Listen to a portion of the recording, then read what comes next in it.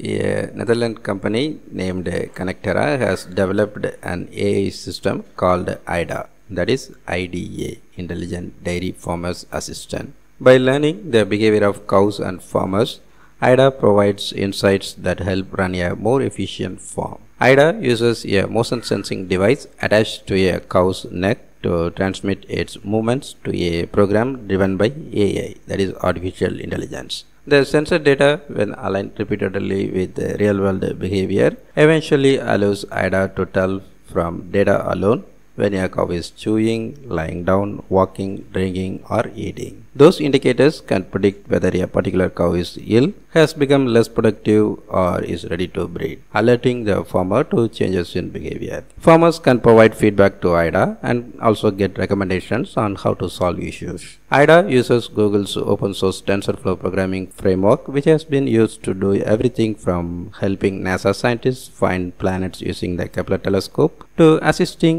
a tribe in the Amazon detect the sounds of illegal deforestation.